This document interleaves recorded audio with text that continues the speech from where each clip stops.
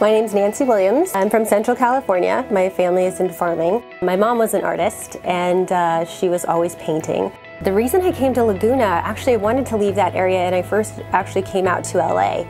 And I just wanted to be around more action and lively things.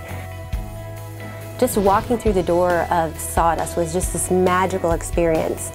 So I thought after doing it for four or five years, I'm like, I have to live here. So I moved to Laguna, found a little tiny place and there's just nothing like it anywhere.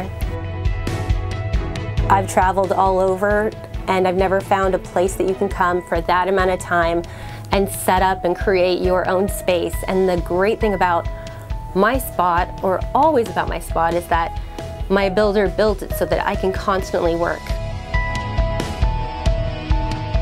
I think it's very fresh and different and we have such a neat eclectic group of people in Laguna Beach and it's great because it's different. It's not something that you see everywhere.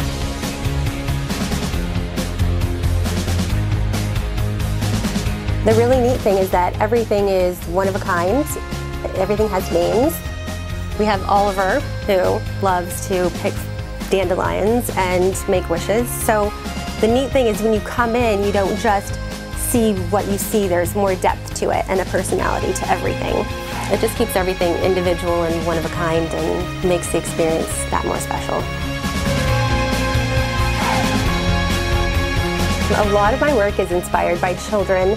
I'm also a part-time nanny, so I have a lot of girls that are in my life and we, um, you know, pop around Laguna, pick wildflowers. We walk down the beach, go downtown, window shop, Get gelato, of course, have to do that. And then, of course, we're Snapchatting and taking pictures to capture every moment. But a lot of time is finding things and, and bringing them in and, you know, making things and doing projects and seeing what we can create with whatever we have. Always working on something new and whimsical and, and something different. My name is Nansea Williams. I do mixed media and crafts, and I'm an artist at the Sawdust Festival.